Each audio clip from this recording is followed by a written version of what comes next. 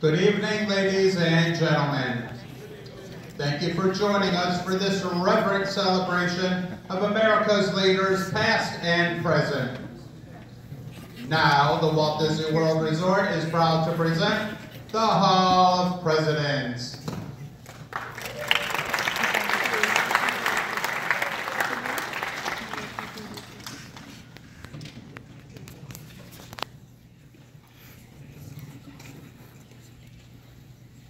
This program is dedicated to the memory of Walt Disney. In 1971, his love for America inspired the creation of the Hall of Presidents, a place to celebrate the optimism and goodwill he saw at the heart of the American story. Walt's vision was to honor the nation by honoring the American presidency.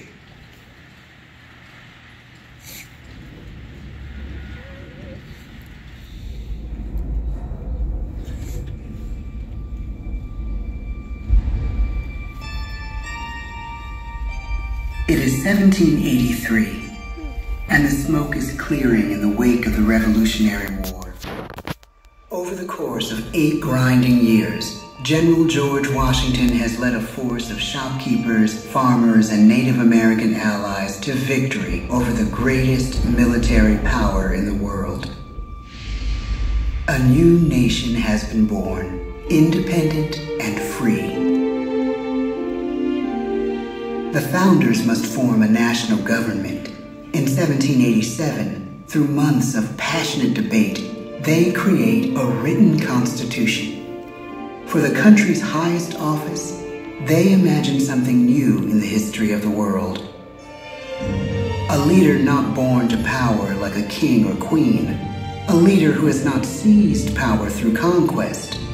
A leader not separate from the people, but elected by the people from among the people. We, the people. This is a new idea, an American idea, the idea of a president.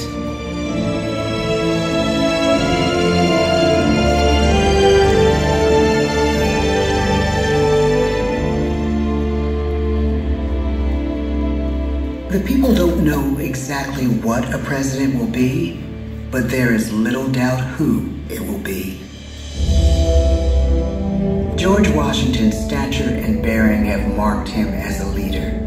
His integrity has made him a great one. Washington knows that many generals who have led successful revolutions make themselves dictators or kings.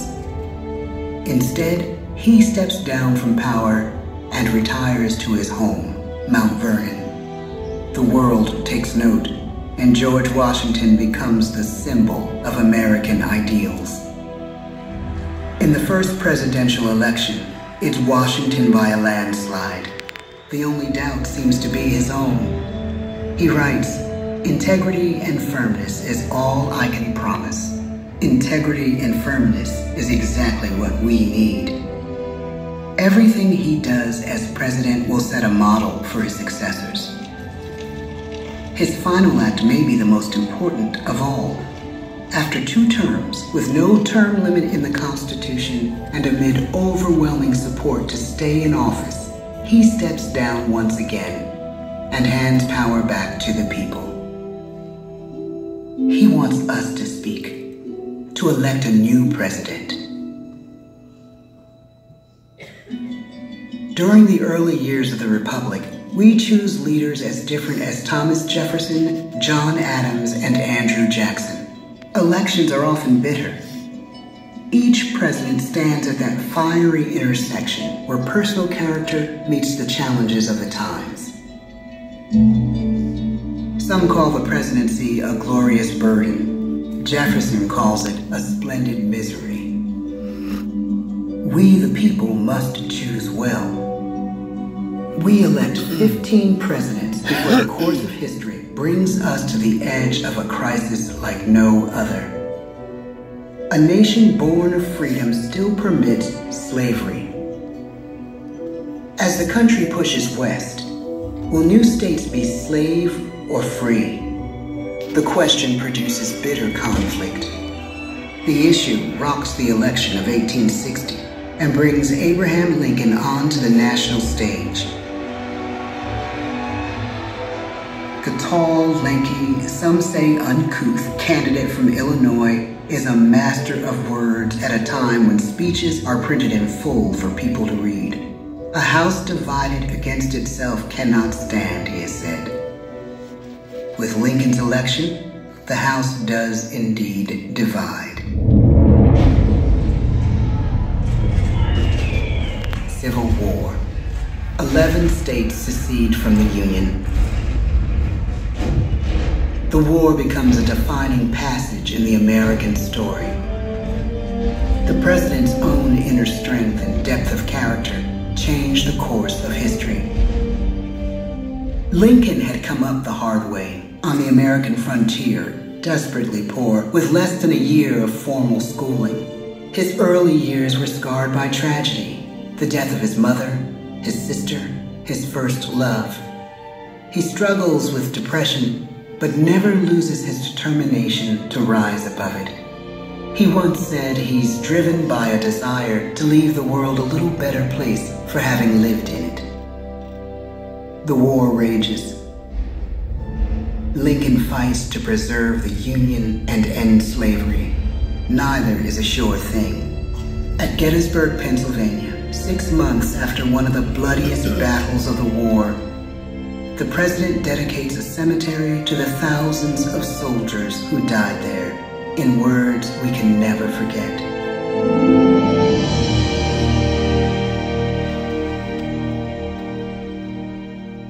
Fourscore and seven years ago, our fathers brought forth on this continent a new nation, conceived in liberty and dedicated to the proposition that all men are created equal. Now we are engaged in a great civil war, testing whether that nation or any nation, so conceived and so dedicated, can long endure. We are met on a great battlefield of that war. We have come to dedicate a portion of that field as a final resting place for those who here gave their lives, that that nation might live it is altogether fitting and proper that we should do this. But in a larger sense, we cannot dedicate, we cannot consecrate, we cannot hallow this ground. The brave men, living and dead, who struggled here, have consecrated it far above our poor power to add or detract. The world will little note, nor long remember what we say here but it can never forget what they did here. It is for us, the living, rather, to be dedicated here to the unfinished work which they who fought here have thus far so nobly advanced. It is rather for us to be here dedicated to the great task remaining before us, that from these honored dead we take increased devotion to that cause for which they gave the last full measure of devotion that we here highly resolve that these dead shall not have died in vain, that this nation, under God, shall have a new birth of freedom, and the government of the people, by the people, for the people, shall not perish from the earth.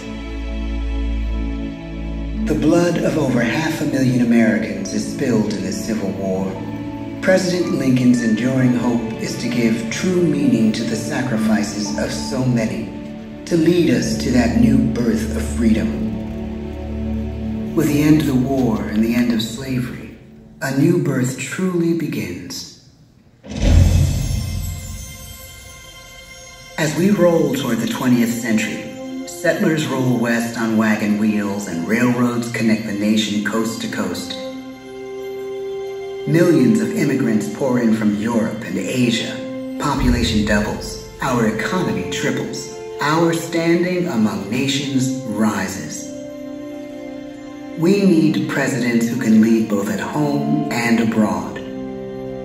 At the same time, a young Theodore Roosevelt is retreating from New York politics and personal tragedy. The death of his wife and his mother on the same day in the same house. In the Badlands of North Dakota, he rethinks his life and the life of his country. He returns stronger in body and spirit. His renewed energy is just what his country needs.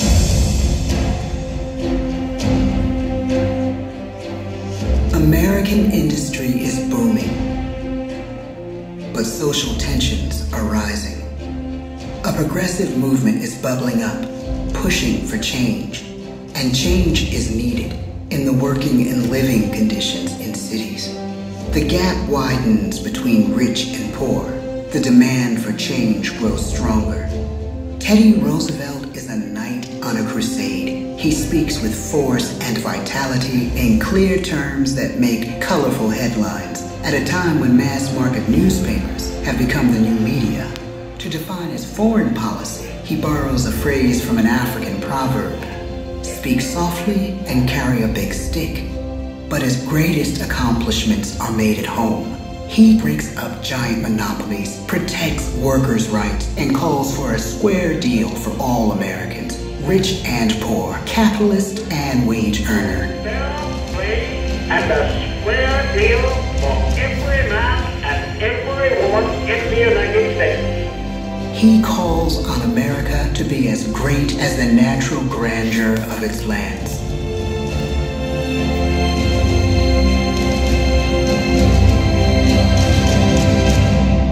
Keep your eyes on the stars and your feet on the ground, he tells us.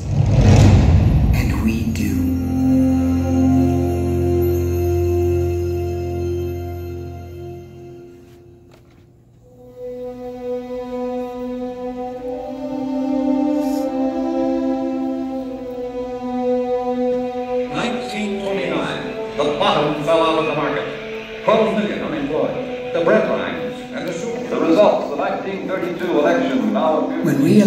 Our 32nd president, it is the worst of times. The course of history and the course of one president's life again shape a turning point in our national destiny. Franklin D. Roosevelt, paralyzed by polio, knows how to restore the faith of a people paralyzed by the Great Depression. I believe in practical explanation and in practical policy. He has found the inner strength his countrymen now need. Speaks to us like a friend, a neighbor. His optimism is contagious, his voice perfect for the latest breakthrough medium, radio. He calls us to believe we have nothing to fear but fear itself. And we do believe. Tonight's attacks on England are perhaps the most widespread of the war. In the course of the day, But an even greater challenge dominates his final years in office the Second World War.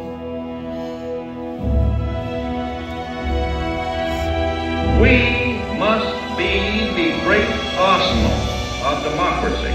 This is an emergency as serious as war itself. We stun the world with our production.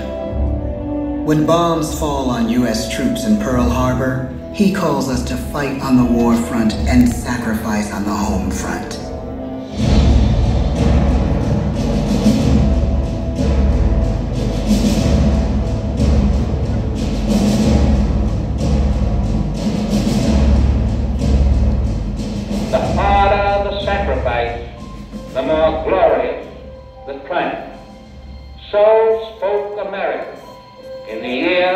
1776. So speak Americans today.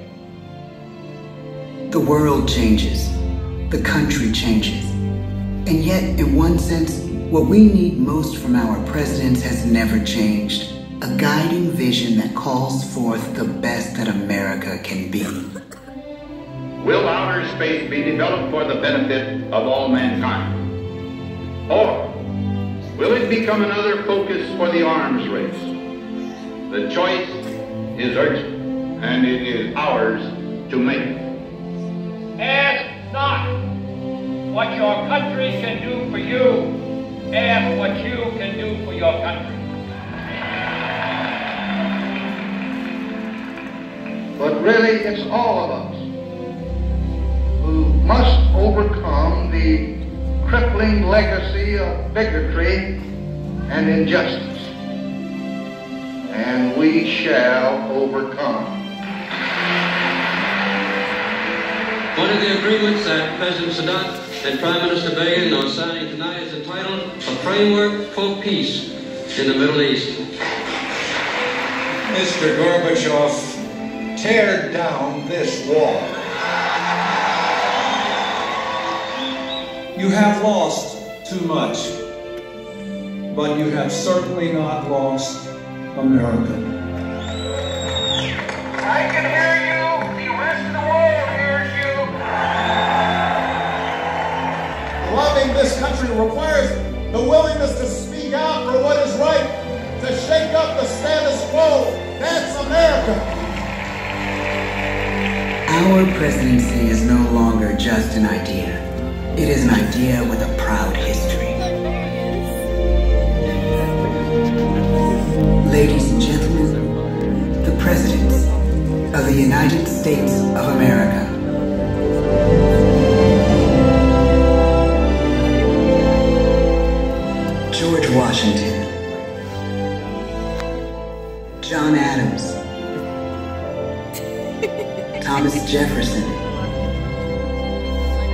James Madison. James Monroe. John Quincy Adams. Andrew Jackson.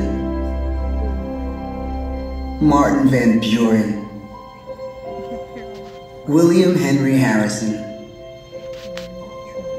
John Tyler. James K. Polk.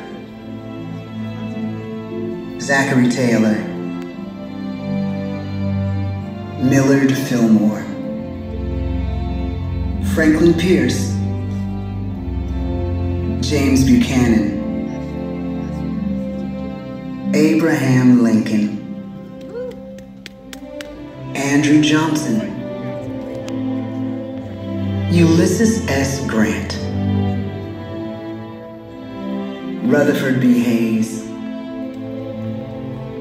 James A. Garfield. Chester A. Arthur. Grover Cleveland. Benjamin Harrison. William McKinley. Theodore Roosevelt. William Howard Taft. Woodrow Wilson. Warren G. Harding. Calvin Coolidge. Herbert Hoover. Franklin D. Roosevelt. Harry S. Truman. Dwight D. Eisenhower. John F. Kennedy. Lyndon B. Johnson. Richard M. Nixon. Gerald R. Ford. Jimmy Carter. Ronald Reagan. George Bush. Bill Clinton. George W. Bush. Barack Obama.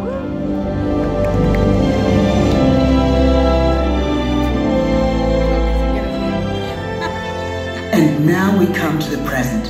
Once again, we place our trust in the idea of a president, as we have from the beginning. My fellow citizens, no event could have filled me with greater anxieties than that notification on the 14th day of April 1789 that you had selected me to lead our nation. But it was with the confidence of my fellow citizens that I took an oath. 35 simple words that have been repeated by every American president throughout history. I, Donald John Trump, do solemnly swear that I will faithfully execute the office of President of the United States and will, to the best of my ability, preserve, protect, and defend the Constitution of the United States. So help me God. From the beginning, America has been a nation defined by its people. At our founding, it was the American people who rose up to defend our freedoms and win our independence. It is why our founders began our great Constitution with three very simple words We the people. Since that moment, each generation of Americans has taken its place in the defense of our freedom, our flag, and our nation under God. These are the achievements of the American spirit the spirit of a people who fought and died to bring the blessings of liberty to all our people. Above all, to be American is to be an optimist, to believe that we can always do better, and that the best days of our great nation are still ahead of us. It's a privilege to serve as the President of the United States, to stand here among so many great leaders of our past, and to work on behalf of the American people. The presidency of the United States is a role unique in the world, an office entrusted to each president by us, we the people. Therein lies the genius of that new idea, now over 200 years old. A new idea our presidents have turned into a great American idea again and again.